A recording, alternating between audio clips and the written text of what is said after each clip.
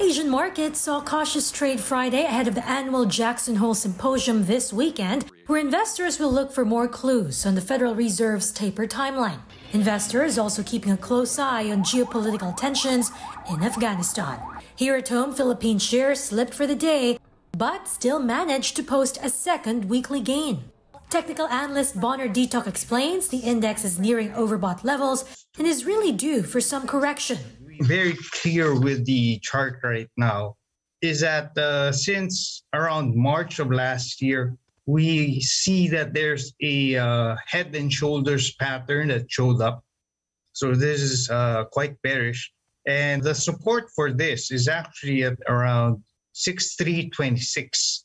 Should this break, we are expecting that this could go down by around 20%. A short term rising wedge uh, it looks bullish, but it's actually bearish in nature. So this is probably something that could bring us back to 6.5.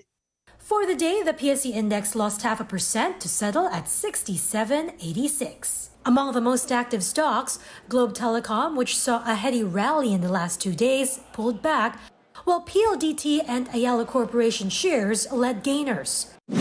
In corporate stories, food ingredients and chemicals company D&L Industries gets the green light for its maiden bond offering, where it looks to raise as much as 5 billion pesos. Proceeds from the issuance will be used to fund its 8 billion peso expansion in its Batangas facility. Construction actually started back in 2018, and commercial operations will partially commence in May next year.